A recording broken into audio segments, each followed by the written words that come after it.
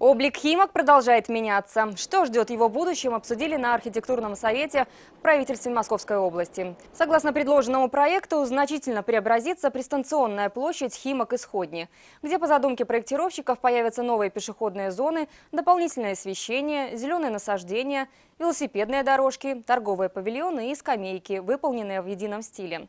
Также изменятся фасады близлежащих домов. Основное внимание уделяется комфорту жизни химчан. На стационарных площадях необходимы удобные места для ожидания общественного транспорта. Пешеходные переходы должны соответствовать требованиям маломобильных граждан. К слову, многоэтажки преобразятся не только на станции. Для того, чтобы сделать город краше, уже выбраны 11 ключевых улиц и выделены приоритетные дома, фасады которых заметно улучшатся. Преимущественно это здания, которые видны издалека. Их будут оформлять в первую очередь.